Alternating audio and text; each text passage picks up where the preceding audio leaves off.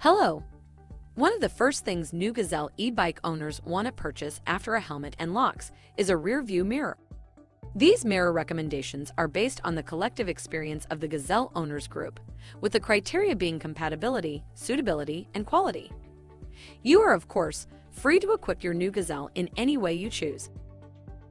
Your admin suggests you make your authorized Gazelle dealer your first stop for all parts and accessories. Other purchase links are provided understanding that is not always possible. The Hafny handlebar mirror shown here, mounted on Gary's Gazelle Ultimate, is the group consensus favorite. It is available from Amazon. It adjusts easily to provide a full range of view and installs easily with just a 5mm hex key. Here is the rider's view. The mirror and stem are made from reinforced nylon, the clamp is made from aluminum. The lens is made from automotive-grade glass. You can install it on the right side, left side, or both. Here you can see the Hafny mirror installed on a Gazelle Arroyo handlebar. Gary points out that this mirror does not require destruction of the grip for installation as some other mirrors do. The current price for the mirror is $22.99 US.